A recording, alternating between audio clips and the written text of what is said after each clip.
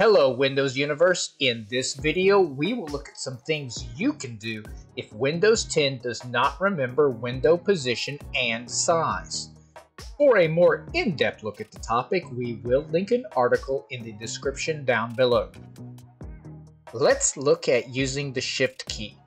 When you close a window, hold down the Shift key as you close it.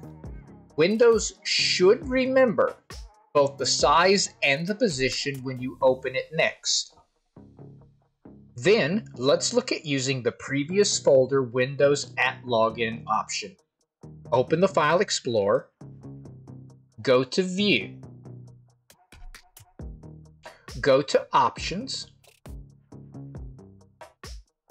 and then the View tab,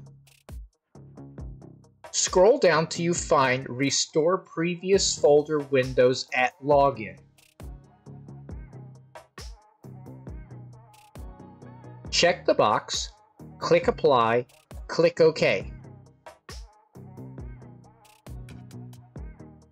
Then there is the Cascade option.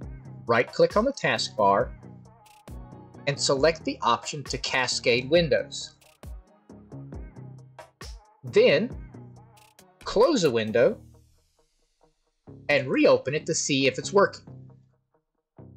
For more useful tips to make your Windows experience better, go to our website, thewindowsclub.com. Do not forget to give this video a thumbs up and subscribe to our channel, where we are always adding new content to make your digital universe a little bit easier. Thanks for watching and have a great day.